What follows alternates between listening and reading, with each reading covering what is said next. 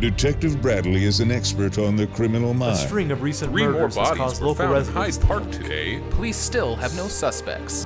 The killer's murdered 12 people so far. How are we gonna catch them? No one's ever seen their face. 911, what's your emergency? Please help, I've been kidnapped. But he's just discovered one advantage that every killer fears a victim who got away. I'm the only person who's ever seen this guy. Damn it, you have no idea what's at stake here! What's wrong with him? He's been tracking the killer for years. The killer murdered his wife.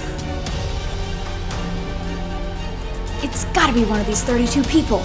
He could be anybody. Now, to solve the case, he must play the ultimate guessing game. Was it a woman? No. Did he have red hair? No! Will he find the killer, or will he lose his mind? Did he have glasses? No.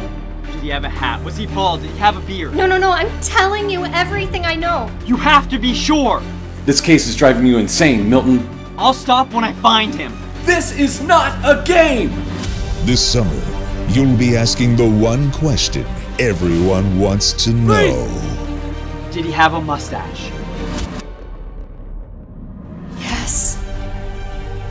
Was he blonde? Yes. Was it. Charles? We made a sketch based on your description of the suspect. Does this look anything like him?